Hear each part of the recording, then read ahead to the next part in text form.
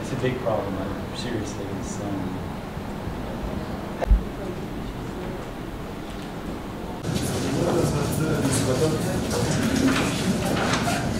یعنی ممکنه خوندنا به ایتابیجی اینه که دوباره در عکس گول فکرنه تبا And you're telling the Kurdish community, uh, the public, واقع شكلك دقيق وارد النقاط you would negotiate those changes framework only for our discussions. So we're well aware that there are some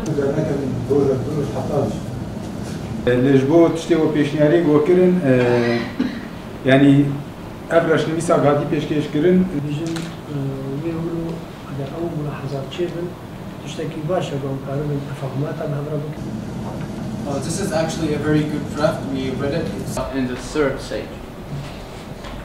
Thank you. بيان مشترك إلى الإعلام والرأي العام في 16 حزيران يونيو 2020 اختتم وفد المجلس الوطني الكردي وأحزاب الوحدة الوطنية الكردية في الحسكة.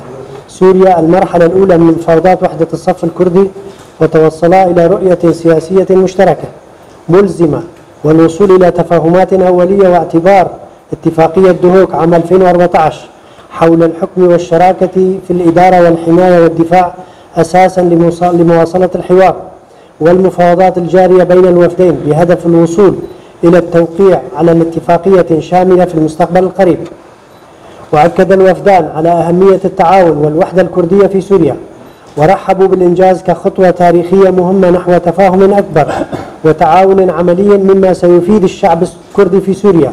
وكذلك السوريين من جميع المكونات وكرس الوفدان عملهما وفاء للتضحيات الكبرى لأبناء وبنات سوريا وخاصة لشهداء وجرحى رجاء كردستان وعائلاتهم الذين ضحوا بأرواحهم في القتال النبيل لحماية العالم من استبداد داعش.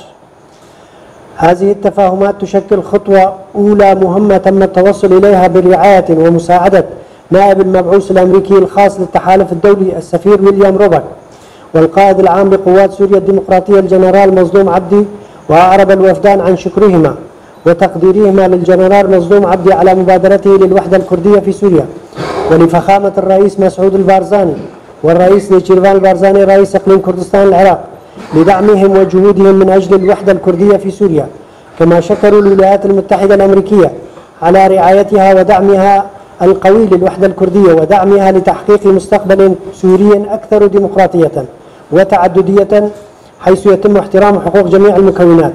المجلس الوطني الكردي في سوريا أحزاب الوحدة الوطنية الكردية 16 حزيران يونيو 2020